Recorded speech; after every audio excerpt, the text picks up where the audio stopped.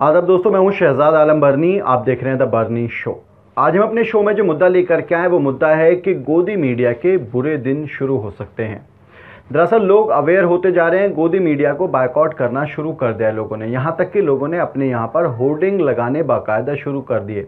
पिछले कुछ दिनों में गोदी मीडिया की तरफ़ से जिस तरह से फेक न्यूज़ चलाई गई, उन्हें देख करके ऐसा लगता था कि शायद ही किसी चैनल पर देश के यकीन किया जा सके कि शायद ही कोई चैनल सही खबर चला रहा था। लॉकडाउन फ़र्स्ट के दौरान ख़ास तौर से मुस्लिम समाज को और ख़ास तौर से जमातियों को लेकर के जिस तरह की अफवाहें फैलाई गई, जिस तरह की फेक न्यूज़ बाकायदा इस्टेब्लिश्ड न्यूज़ चैनल्स की तरफ़ से चलाई गई, वो अपने आप में बहुत ही शर्मनाक भी थी और हमें सोचने पर मजबूर कर देती हैं कि आखिर हमारी पत्रकारिता किस दिशा में जा रही है। अब इसी को लेकर के एक बड़ा कदम उठाया गया है। झारखंड के रांची में एक जगह है जिसका नाम है हिंद पीढ़ी। हिंद पीढ़ी मुस्लिम बाहुल्य इलाका है। यहाँ पर लोगों ने बाकायदा अपने क्षेत्र में बड़े बड़े बैनर बना करके लगाए। बैनर पर साफ़ तौर से लिखा गया कि गोदी मीडिया, हाय हाय, न्यूज़ अखबार, बहिष्कार, हिंद पीढ़ी, नो एंट्री।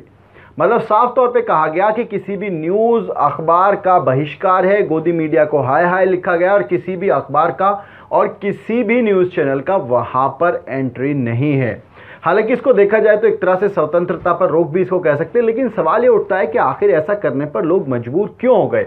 दरअसल हिंद पीढ़ी के लोग नाराज़ हैं इस बात से कि लॉकडाउन जो पहला लॉकडाउन शुरुआत हुई थी जिसकी उस दौरान जो मीडिया थी, उसने हिंद पीढ़ी के बारे में बे गलत खबरें चलाई। खासतौर से एक खबर चलाई गई थी, आपने काफ़ी देखा होगा कि नगर कर्मियों पर लोग थूक करके भाग रहे हैं। वो फेक न्यूज़ थी, वो भी हिंद पीढ़ी से जुड़ी हुई थी। उसके अलावा एक और खबर हिंद पीढ़ी से जुड़ी हुई चलाई गई कि कोरोना पॉजिटिव लोगों को रात के अंधेरे में प्रशासन द्वारा ले जाया गया। ये भी फेक न्यूज़ थी। उसके अलावा एक और चलाई गई कि मीडिया कर्मियों पर हिंद पीढ़ी के लोगों ने पथराव कर दिया। वो भी फेक न्यूज़ थी।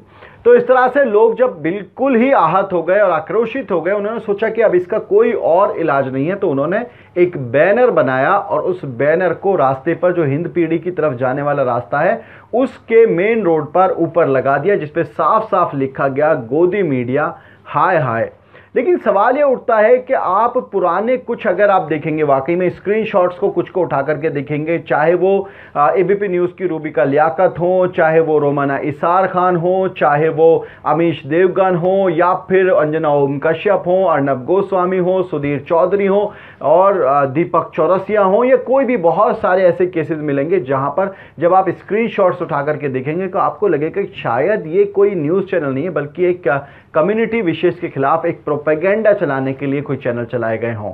इस तरह से देखने से लगता है। तो बहरहाल अब गोदी मीडिया को झटका लगा है। सवाल ये उठता है कि गोदी मीडिया को इस तरह से बहिष्कार करना क्या एकमात्र उपाय हो सकता है या फिर उसकी जगह पर हमें उसके अल्टरनेटिव ढूँढने पड़ेंगे कि नए नए चैनल बनाए जाएँ, अपने चैनल जो कि सच्चाई दिखाते हैं, उनको प्रमोट किया जाए, उनके सब्सक्राइबर्स बढ़ाए जाएँ, उनको शेयर ज़्यादा किया जाए ताकि लोगों तक सच्चाई पहुँच सके।